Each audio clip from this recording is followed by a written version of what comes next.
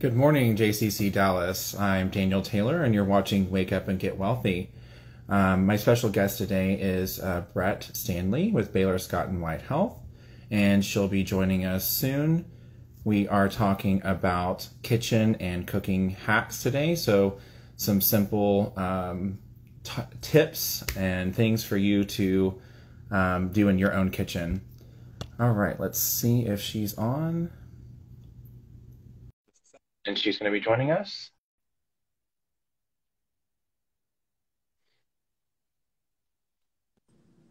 Okay. Hey. Hi, Brett. Maybe. Are we sound check, video check?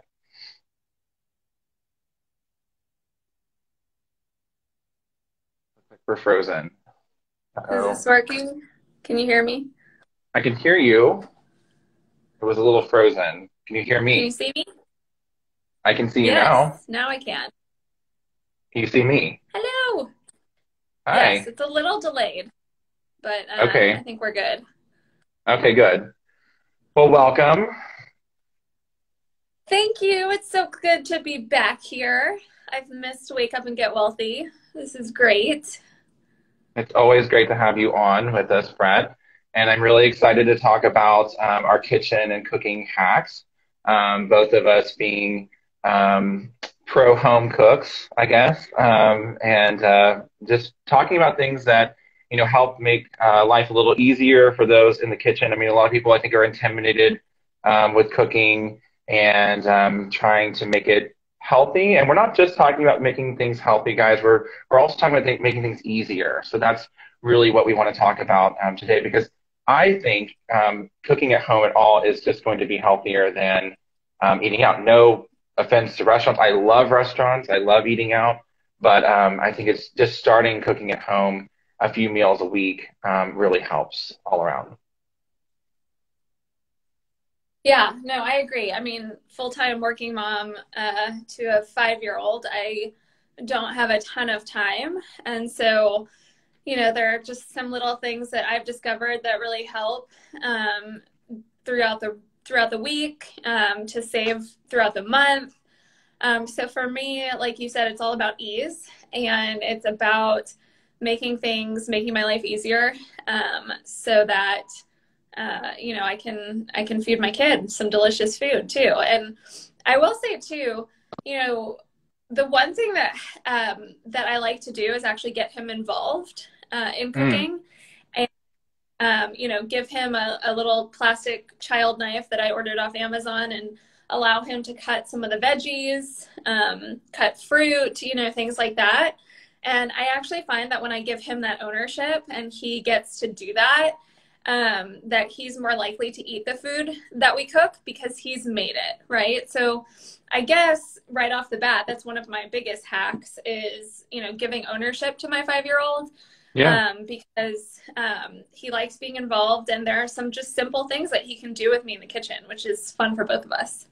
Yeah, I think getting anyone in the family involved in cooking um, is is great. Of course, I don't like sharing my kitchen, so that's a whole different conversation. But uh, I know that my mom and my grandmothers both, or all of them, um, got me involved in doing some things in the kitchen, which is which was um, great. So I learned stuff early on.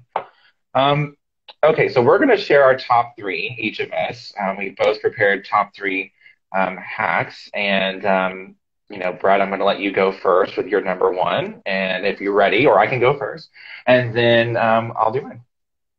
Yeah, absolutely. So, one of my favorite hacks uh, is use the freezer. I am a big fan of the freezer, and um, I was a little intimidated to start freezing things at first um, because I thought thought you know I would maybe forget about them and and all that kind of stuff. But um, I use the freezer for a lot of things, and my number one thing, and I love telling everyone who will listen to about this, is to freeze things like tomato sauce.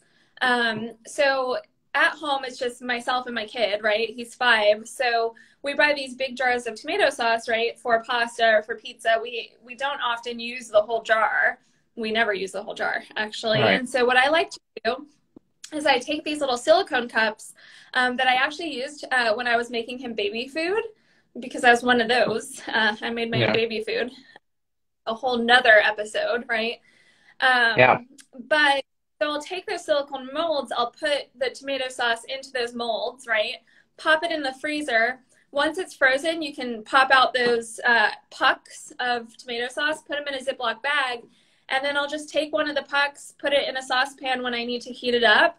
Um, if you know, I just need like a little bit of tomato sauce for something, um, for pasta, for pizza, for Trader Joe's frozen cheese sticks, just to dip them, right? So, Yeah. um, that's probably my favorite thing to do. Grab one of those silicone molds, take something that you know you haven't used a lot of before it goes bad, pop it in the freezer. That's my best hack, I think. Yeah, I think I think that's great, and I think freezing things um, so it doesn't go to waste is a wonderful thing. I hate wasting; it makes me feel ill if um, something goes to waste. So I think um, putting it in the freezer and being able to uh, use it again is a great hack. Um, I love that.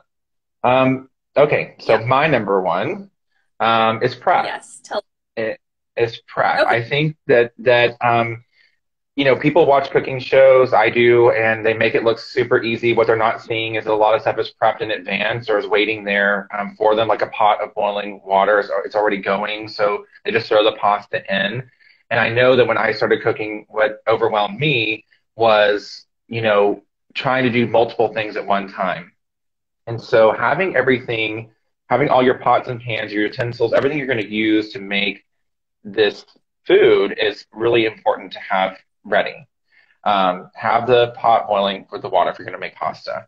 Um, have your um, your ingredients already chopped up or diced up or whatever it needs to be. So that way it's already ready, so it's ready to go in the pan, and you're not, you know, having to run back and forth and and kind of you know panicking and, and frantic. Um, and again, just having everything ready, I think, is important. Having a sharp knife is part of that prep. Definitely have a sharp knife. My mom always told me that. She's like, a dull knife is more dangerous than a sharp one. Um, so have the right things too, and make sure that you, if it says you need a a stock pot, make sure you have a stock pot. You know, don't just try to cram something into a, a tiny little, you know, um, saucepan if you don't have. Um, so make sure you have all the right things um, when you're when you are cooking, and make sure you have everything ready. Prep, prep, prep. Yeah, I think that's great advice because I I often find myself just scrambling to like grab things, right? And it just makes me feel frantic and then the joy of cooking is not joyful anymore. It's just stressful, right? Um No. so hearing you say is that I can have my 5-year-old do all of the prep for me and then throw everything in. Is that what you're saying? Well, maybe with his with his little plastic knife, yes. Um, don't give him the chef's knife yet, but uh, yeah, No yeah. knife for him. Yeah. Yeah. Uh, but no, I, Yeah, I think yeah, cutting, like zucchini and um you know often i'll find if he's like cutting you know a vegetable or a fruit or something that he hasn't tried before he'll he'll try it while he's chopping it um again as he's doing it right? So i think that's a, a really great way to get your kids to try new food too. Um so have your kids help you prep uh, prep so that you can have joy in cooking and not just uh, be frantic like I often am when I'm cooking. yeah, no, and I, I think if you have you know someone, uh, if you have a significant other, if you have someone in your household too, I mean, you can always have a sous chef, someone who is um, getting everything ready for you while you're cooking. Again, for me, I'm kind of a loner in the kitchen, but you know that's just me. Um, Not everyone else is. Okay, so no one go to Daniel's house and help him. We'll just no, don't. we'll No come help. for the You we'll come for the food. eat the food. Um, Yeah.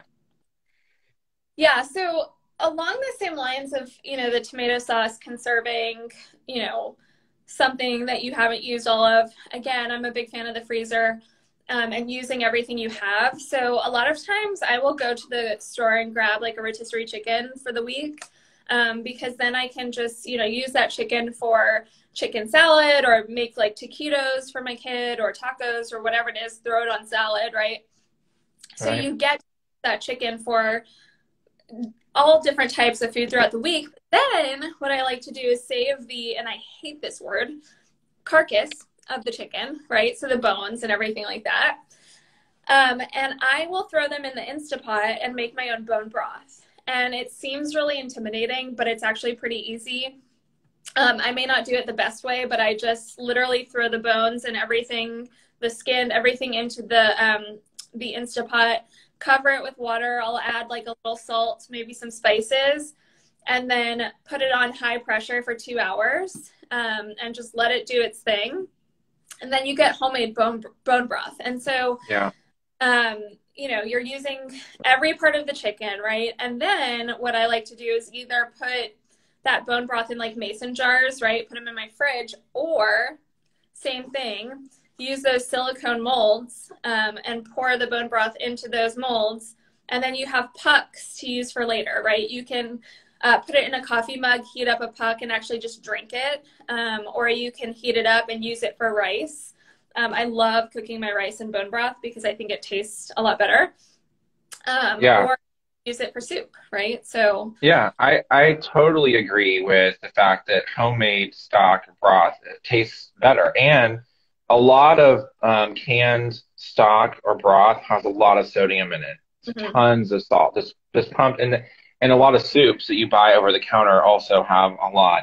So um, that in itself is it's, you're gonna have more flavor um, doing it at home, um, and you're going to kind of cut down on some of that salt content as well, uh, which I think is great. And I think again, using the rotisserie chicken, a lot of people think, okay, I've got to do everything from scratch or not at all, which is again uh, not not the point. You know, there's a lot of semi homemade things that you can do um, by getting something that's already prepared and then blending it into different dishes and things that you're making. Um, it's a time saver um, which we all could use. We're all busy, and um, you know, it it just helps us get through the week and things like that. When you have time, of course, yes, it's nice to roast a chicken yourself all the way, you know, and, and have the house smell like that and everything. Um, but uh, it's not necessary. It's not needed, you know, when you're when you're making things through the week. So I love it. Yeah, I will tell you, I've never roasted a, a, chicken by myself. I have always gone to buy a rotisserie chicken. Um, I probably will never roast an entire chicken by myself, but you know, we'll see. Only time will tell, it, I guess. It, it's just something that I do. Like I don't do it now because it's too hot, but in the fall and the winter, it is something that I do. It's like a Sunday dinner to me, and um, uh, it's fairly simple, but I mean, it is time consuming for sure. I mean, you have to give it the time it needs, um, and so it's not a quick it's not a quick thing. It is something I enjoy during that period of time. Yeah, so all of our, our viewers here can wait for an invitation to your house in the fall for homemade rotisserie chicken. Right? That's yep. also what well, Yeah. That's what yeah. we're doing. But we can't cook. We will not no, be your no, sushi. No, no, you um, can't help. Provide entertainment and uh, eat. It's it's my it's my ADHD, Brett. I can't like when people are talking to me, I can't do two things at once. So if I'm cooking, I have to focus on cooking. If I'm driving, I have to focus on driving. I can't do two. I can't talk to anyone. I can't be distracted. So yeah, that's why. Very very mindful of you. I love that. Yeah. Yeah, and, um, and also speaking of which, it is my mindfulness time. It is my time to um, decompress. Um, being in the kitchen for me is like therapy um, most days, and you know. Stephen will say, my partner will say, "Oh, you are you tired? You'll feel cooking." I'm like, I may be tired, but sometimes it's really therapeutic to get in the kitchen and cook. Yeah, I think that's awesome. Uh, you you do that. It is not therapeutic for me. Um, for me, it is more of a kind of a task, but um, you know, like for me, crocheting is therapeutic, right? Which probably would not be therapeutic for you. Um, so well, it wouldn't it wouldn't be therapeutic and you wouldn't get anything attractive out of it anything that you would want to keep in your home so. Yeah so you we all have to find what you know works for us and uh, what kind of puts us into that headspace of mindful you know where you're just kind of in it and you're really not thinking about anything else except for what you're doing which i think is really great. So i love that you have found cooking for that. Yeah. My uh, tip two is um, talking about modifications, I already kind of segued into that uh, modifications and um, seasoning. Um, but you know, a lot of people will look at a recipe and say, "Well, I, it's not for me. Um, I'm a vegetarian. I'm a vegan." Um, but you can you can do a lot with um, veggie stock. You know, you can make. We were just talking about making you know bone broth, um, but you can make vegetable stock at home. you can buy it. Um, you can get cream of celery instead of cream of chicken or cream, you know, things like that. There's a lot of different things that you can use um, to to modify. So don't be afraid to don't turn down a recipe necessarily. I turned um, you know my chicken pot pie recipe into veggie pot pie, veggie chili. Um, you know, losing the meat, and a lot of people think, well, then I have to use a meat substitute. I just more vegetables and beans, and I think that that you know works really well. Not saying that you can't use a, a, a meat substitute, um, but in my opinion, I'd rather have the vegetables. Um, I don't miss the meat when I make um, veggie chili. That's just me. Um, but my biggest thing with seasoning is too is that um, you can always modify. Do a recipe first the first time exactly the way the recipe says to do it, but then find from there where you can make adjustments. But usually recipes do have a blend of things that you do need. You need uh, the sugar content, salt content, acid, things that balance out the flavoring. So make sure that you, you know, appropriately put those things in, but um, then learn where you can, you know, if something tastes too salty to you or too sweet um, or too spicy, you can always kind of bring those things down. Um, and a lot of people will tell me, oh, well, I didn't use salt, but I put in some seasoning blend. I'm like, remember that that also has a lot of sodium in it. Most spice blends do. So you have to kind of look at the back of the container and see. Um, but like I said, I don't don't be afraid to modify something or to or to take those shortcuts. I never. I'm not a baker, so I never um, make crust. I buy the Pillsbury rollout, you know, crust uh, or phyllo dough or things like that out of the freezer. Um, I just it's just something I don't enjoy. I don't enjoy cooking. I don't enjoy baking. So it's something that um, I just do, but I don't think it's a. No one really ever complains if, the core ingredients are good. Um, then, then those shortcuts aren't going to hurt anything. Yeah, and like a lot of times it's kind of what you have at home, right? Like sometimes you'll prepare for a recipe, you'll go to the grocery store, buy everything, right? But oftentimes that's not the case for me. Um, I'll just kind of see what I have at home. I, I I like to say like uh, a lot of times, especially when I'm nearing the end of like my food and it's kind of time to go to the grocery store, I like to pretend like I'm on Chopped, right, and like see what I have and see what I can make from you know these four ingredients and you know what what I can do with them. Um, and a lot of times too, I'll just go to Google and you know if it calls for something like um, cream of tartar or something like that, um, I'll Google and I'll say, you know, what's a good substitute for cream of tartar and just see what I have at home, right? Right. Um, because ideally, it's great to prepare all this, get all your ingredients from the grocery store, but life, right? And so right. a lot of times I'll be at home, I'll want to make something, I don't have all the ingredients, but I have to find those modifications, right? Right. Yeah. Well, I think that, um, you know, there's a lot of times that ingredient there's a lot of recipes that call for um, ingredients that are expensive. Saffron for instance. And you know i just use turmeric. Is it the same thing? Is it the same taste? No. And some of our chefy friends out there would be like oh you're killing me. It's not the same thing. But yeah. um, you know it works. Um, so yeah you could definitely google things and find out what will work instead.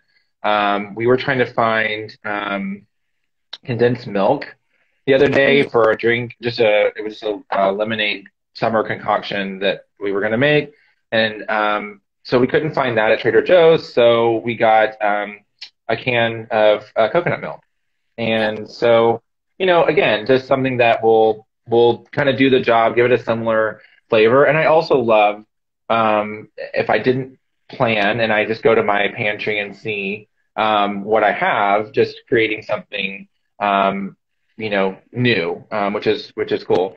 That will go into my next tip, so I'm going to stop there because I don't want to go too far. Okay, so my tip number three again has to do with the freezer. Um, you know, when I'm in a, a pinch, or even when I'm not, I buy frozen food, right? Like frozen veggies, um, frozen fruit. I think frozen veggies are um, oftentimes just as good as fresh, right? They're they're frozen at the peak of ripeness, so they maintain a lot of those nutrients in there.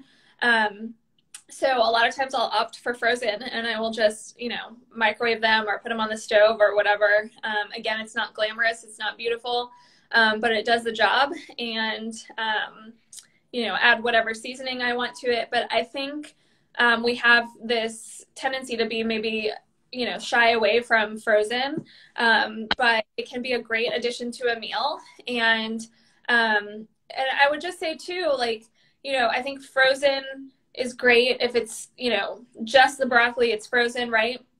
When you look at like canned veggies, again, it can be great in a pinch, but you know they do add a lot of times that extra sodium and, and things like that. So I'm not saying stay away from that, but just be mindful right. that you know the canned stuff is going to have the extra ingredients a lot of times the frozen won't and um, it can make for some really good easy very easy dishes you know i love roasting broccoli um, but when you know i have a busy week and i need to make my kid something he loves broccoli um, i'll just you know pop in some frozen broccoli and it's it's great yeah. so yeah if frozen is better than canned i mean i i do i mean there's some things that you know you hard to find, you know, um, that are that are not in can. But um, I agree, and I think that um, when they're frozen, you still get a lot of the nutrients out of it. Canned is pretty much just it's filler at that point.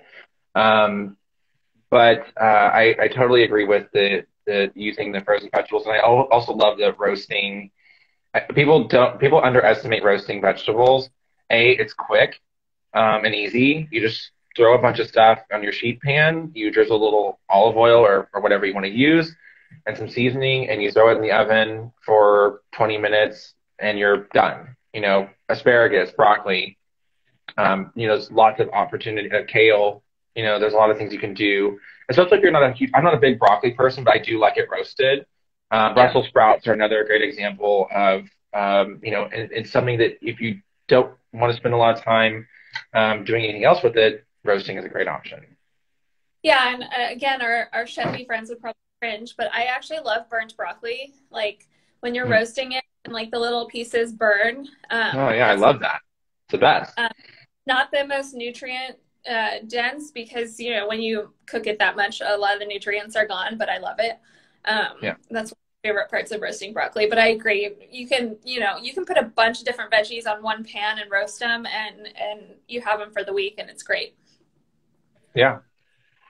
Um, so my final tip um, is learn basic cooking techniques um, that can be applied to several recipes. So like that, we talked about creating something from the from the pantry. If you know the difference between a saute and a sear, um, then you know the, what you can do with multiple different um, things.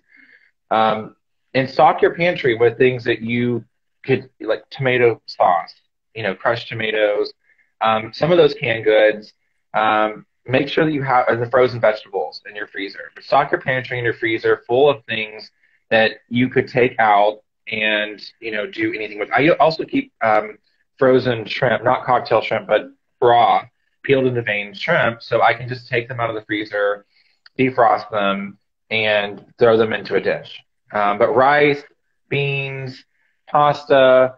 So you can take, you know, some of the easiest things are to take out pasta. I'll make a quick marinara sauce. It takes no time at all. And, um, you know, that's it, you know, but I already have the pasta and the sauce and everything ready to go. Onions and garlic and just have those things on hand. Um, don't overbuy, but have those things on hand. But if you have some basic techniques down, you can apply them over and over and over again to multiple different um, recipes or things you want to create at home. You just you've looked through Food Network, you've looked through Google, you've looked through everything, and you can't find a new recipe, and you just want to try to create something when you feel comfortable. It's a great a great thing. But as long as you have everything in your kitchen, you're going to be good to go. Yeah, I think that's great advice. I one of my favorite things lately, and I just did this only because I had the the staples in my house and I didn't have anything else. Is just like simple brown rice pasta.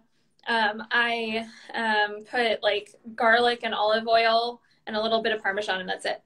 And it's yeah. so good. It's so simple. It's very basic. I had everything in my house. Um, but I don't think I ever would have made it if I didn't have like all those staples in my house, right? Um, right. And it's my favorite things uh, to make. Uh, super easy, really not yeah. time consuming at all.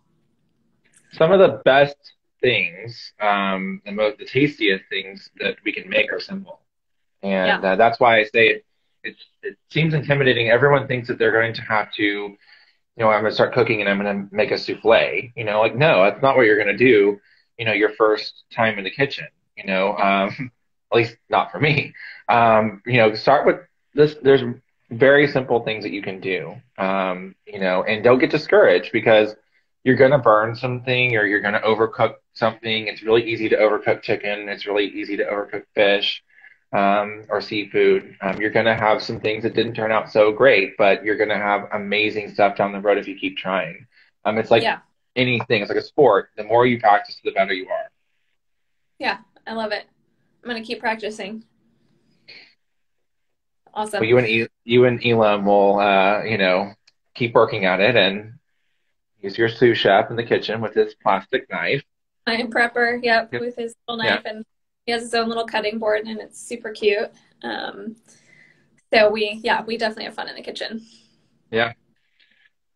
Well, we're getting close to the end of our time, um, but um, if anyone's watching, they have any questions, feel free to put them in the chat. Um, but uh, otherwise, you know, it's been great talking about cooking. It's one of my favorite topics and conversations. I could talk about it all day. Um, I know I have all day to talk about it. I have to get back to life at the JCC and camp and carpool and all those fun things that we do. But um, Brett, yeah. was there anything else you wanted to throw in there about um, cooking and wellness or you know being in the kitchen? I don't think so. I think kind of just our overall message today is keep it simple, right? And right. Um, simple, make your life easier. Don't be afraid to, you know, try some new things um, and have fun with it. I agree.